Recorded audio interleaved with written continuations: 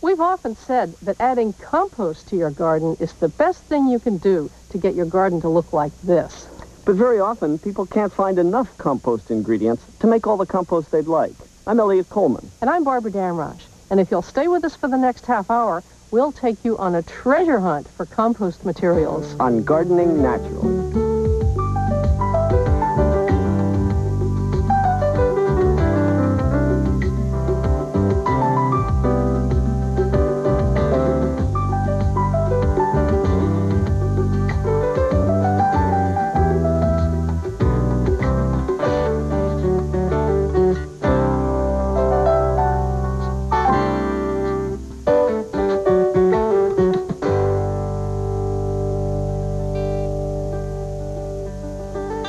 Nature never ceases to fascinate me because nothing is wasted. Every creature that lives and dies is recycled into a usable product for something else. That's right. Leaves that fall, flowers that die, minerals, animal wastes. Nature turns all of these things into fertile soil. And she does this with the help of many organisms, some of them big enough to see, like earthworms, some of them microscopic, like soil bacteria. Now, one way to encourage that in your yard is to make compost, and it even speeds up the process. And most of the ingredients for your compost heap can come right from your yard. In fact, yard wastes account for 25% of what fills landfills, and these are all compostable. Well, if you can't find enough in your yard, look around your neighborhood. See what you can find there, because by doing this, you turn sadness into joy. People get very sad at the idea of a waste product. I can remember an old neighbor telling me with a very glum look, oh, there are four bushels of rotten potatoes in my basement. And he didn't understand when I suddenly brightened up and I said, great, can I have them? For me, they were a resource. Speaking of resources, Eliot, we could use a few more ingredients for this compost heap. Well, we know how to get them. Road trip!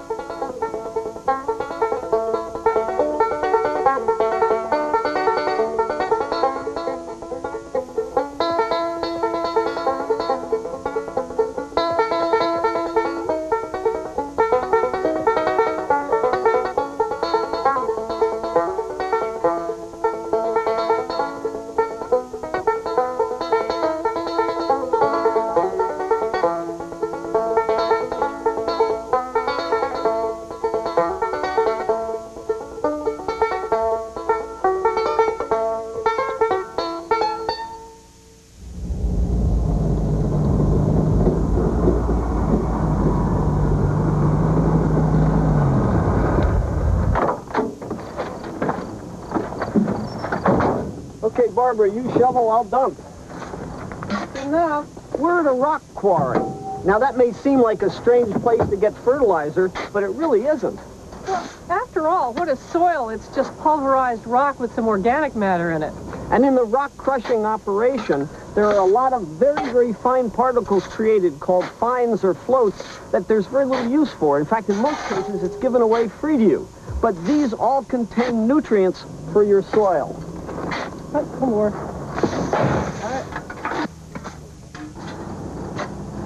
Basalt is my favorite rock for this, and an analysis of rock from a basalt quarry says that it has calcium, magnesium, actually 10% calcium. It has phosphorus, potassium. This is a pretty good fertilizer.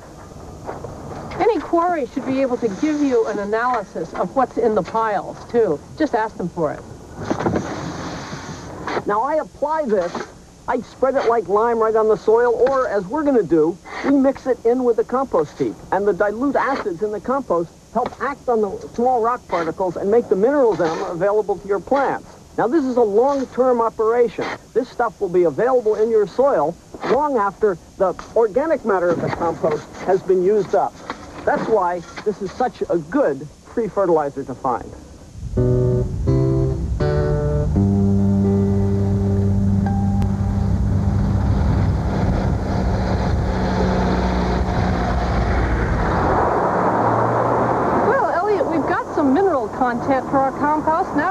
Of that organic matter.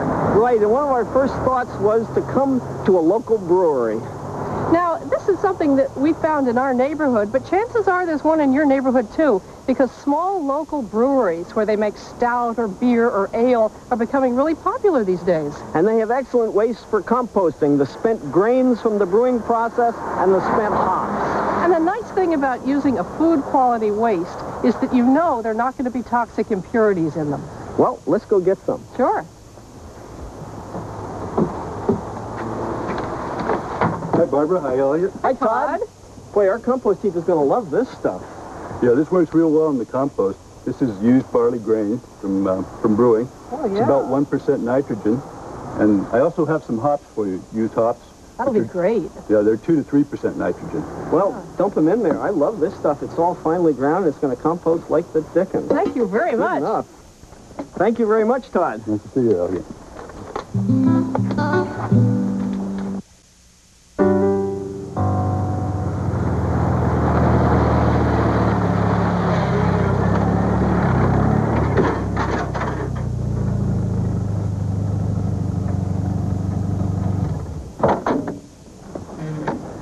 This is the kind of place where you might want to change your footwear. Manure has been the traditional garden amendment for many, many years. And still today, suburbanites drive out to the countryside to pick up some manure from a barnyard. But the reason it became especially popular was because that used to be reversed. Farmers used to take loads of produce into the city in the days of horse and buggy, and then pick up loads of horse manure at the city stables to take back out to their farms. Now this system here is where a paddock has been scraped and there's a lot of fresh manure perhaps mixed, mixed with some soil. And this is fine. Sometimes when you go to a horse farm, it'll be a completely different operation. They're going to make big piles out of what they've shoveled out of the stalls. That'll often have a lot of bedding in it, like sawdust or shavings. When you find a pile like that, it's worth seeing if in the back of the pile there's some really old horse manure, good crumbly black stuff that's been there for years. That's the best stuff to get because it's already rotted. Even if it means trying to drive your truck around and back, or even bringing some feed sacks, filling them up one by one, and bringing them to your vehicle. Now, when manure is fresh like this, you don't want to use it directly on the garden because it has heating properties and it'll burn your vegetables. But those same heating properties make it an outstanding addition to the compost heap because that will help heat up and speed the decomposition of the other products you're putting in there, especially if it comes mixed with some old hay like this, which will be the perfect counterpoint in your composting project.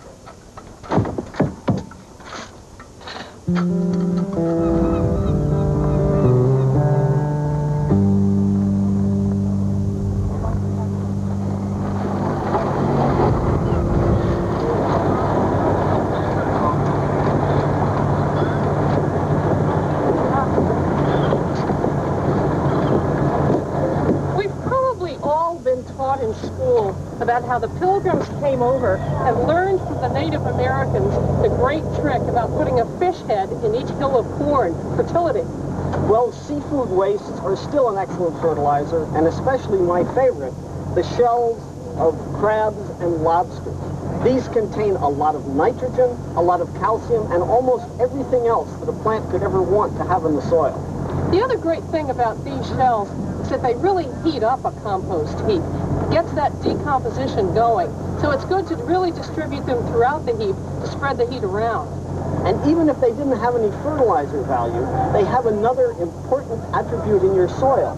The shells of crabs and lobsters contain a material called chitin, and this has been shown to be more effective than anything you can add at dealing with nematode problems in your soil. In fact, it's so successful, it's even sold for that purpose. Now, you may not be lucky enough to live near the coast and have a source like this one, but maybe you have a seafood restaurant in your town that serves a lot of shrimp and crab and lobster.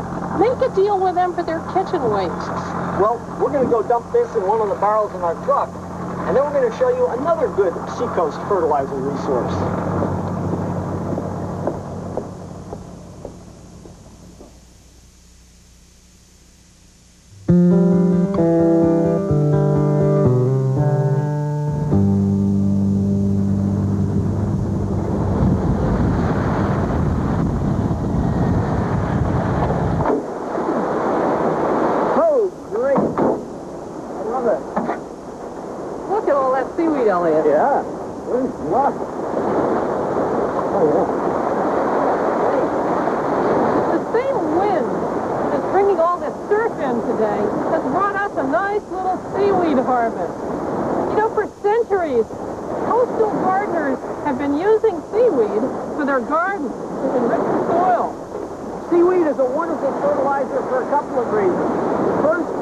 Potassium, which none of the other ingredients we've gotten today is.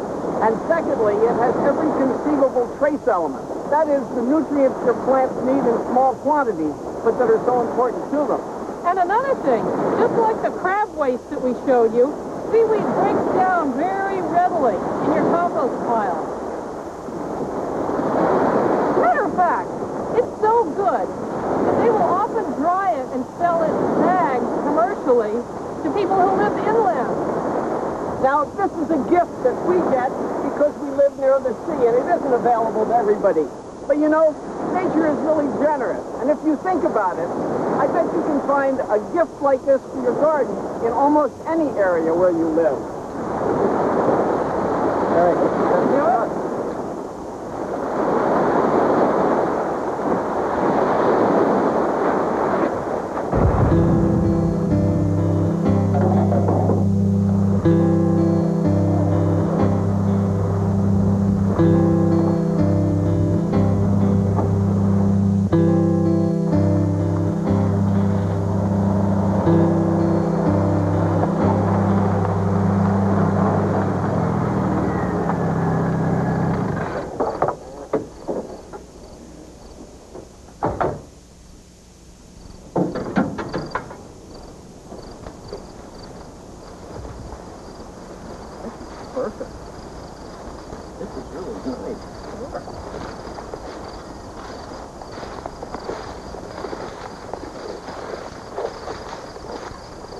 Now here's a compost resource that everybody has access to.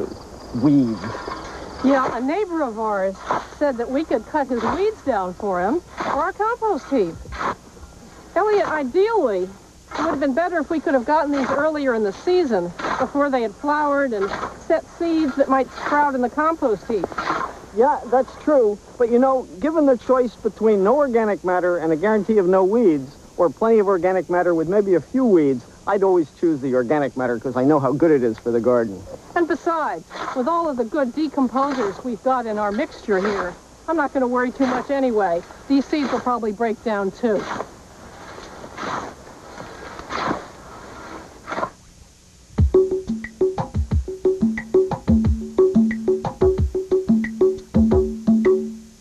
Another resource gardeners often need is peat moss. But unless you're fortunate enough to have a peat bog in the backyard, it isn't often easy to find for free. But there is something else that works just as well. Come on with me, and I'll show you how to find it.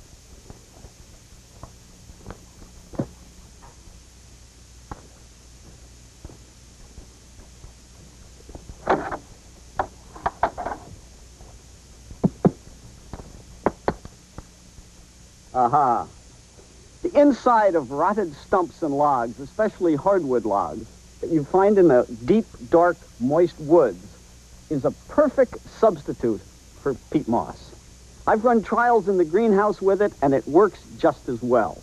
Now, notice it's brown, it's crumbly, looks an awful lot like peat moss, and one way you can tell whether it's ready to use is whether there are little plants already growing in it. They indicate that this is broken down enough already to support new life. Okay, when I find a good spot like this, I'm just going to take handfuls of it and put it through a screen so I can make it small, about the size of peat moss, and it'll work better in my potting mix.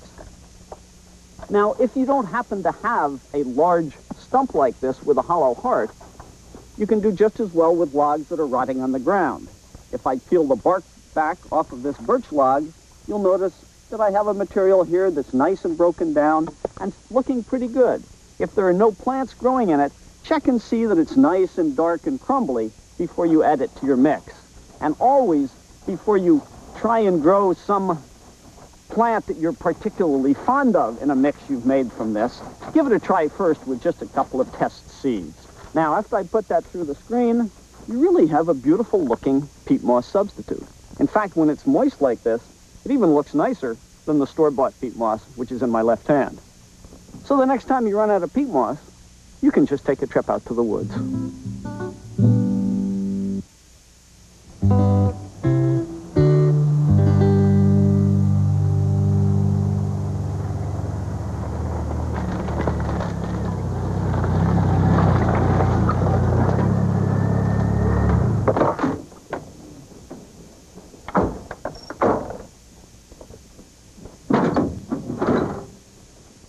Let's get to work. There's your fork. Okay. Now, we've got another great source of compost here. A neighbor of ours had some bales of spoiled straw. Spoiled hay would be excellent, too. Now, Eliot, I'm just going to throw a layer of this to start us off. That sounds great. You know, a compost heap is a lot like a smorgasbord. And if you want the compost heap to digest its ingredients well, they want to be mixed the same way the smorgasbord mixes your meal. Maybe too much mixture isn't good for you. It's great in here. And the way you decide that mixture is to alternate layers of carbonaceous ingredients and nitrogenous ingredients. Oh, darn, big words, hard to understand, no.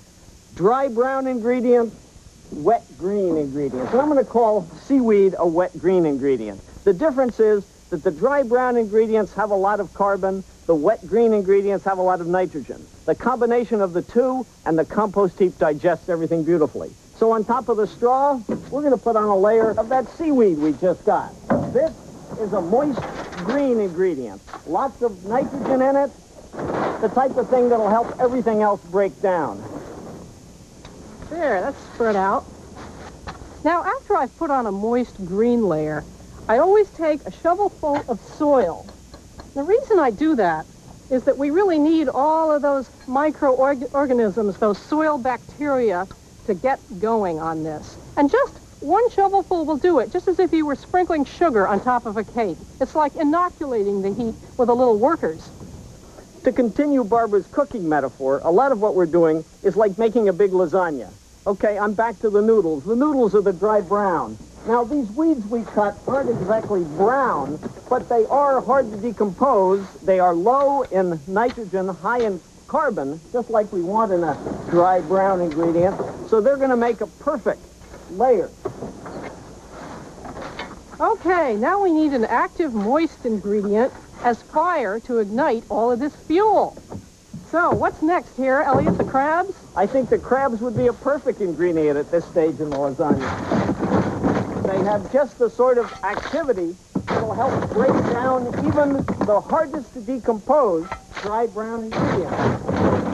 One of the advantages of getting all sorts of variety in your ingredients, you get to make this wonderful smorgasbord lasagna sandwich, anything you want to call it, that because of its variety is really going to turn out a first-class compost. Okay, now that we've got another of those hot ingredients on there, we're going to get some more soil on. Get some of those little buggies in there for the action. What's next, Eliot? Well, I feel like we're the master chefs at the compost Ritz, Barbara. I'm just going to add a little bit of this brewery waste in there because I don't know much about it, but it sort of looks like it would be nice with the crab and the soil. That's just a, an extra touch. How about another layer of the uh, uh, old straw over there?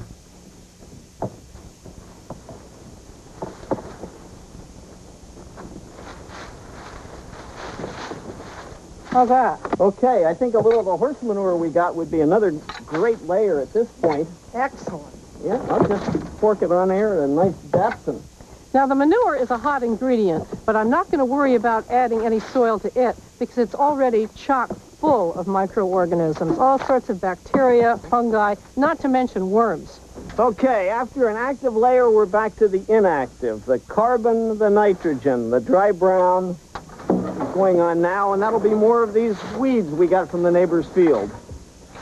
Well, after the horse manure went on, I don't know if I want to continue with the culinary metaphor, but however you look at it, this is really pretty nice. And I'm sure that after this heap sits for a year and it's all mature, our garden will find it delicious. Well, Barbara, that was certainly a successful trip. I'll say we found all kinds of great compost materials all in one trip. And of course, this is the result that we're after. Something that looks like beautiful, rich, crumbly, dark garden soil, only even better. Now, we were helped in our search by this publication from the Department of Agriculture in Maine, and it details where in the state you can find different wastes and what they are and, and who to contact. And even if we hadn't got what we got today, hey, there are a lot of others. There's apple pomace from cider mills. There's the vegetable wastes from canneries. all sorts of opportunities. Now, the authors of this publication have told me that they have sent copies to every other state department of agriculture. So call yours up. And if they haven't put out something like this yet, give them a lot of encouragement. Sure. And even if they don't give you something like this, you might try your yellow pages. We did that. We looked under seafood for those crab wastes and brewery for the brewery wastes. Get creative. We're still looking. And while we're waiting a year for all those ingredients we got today to break down into something beautiful like this, goodbye and good gardening.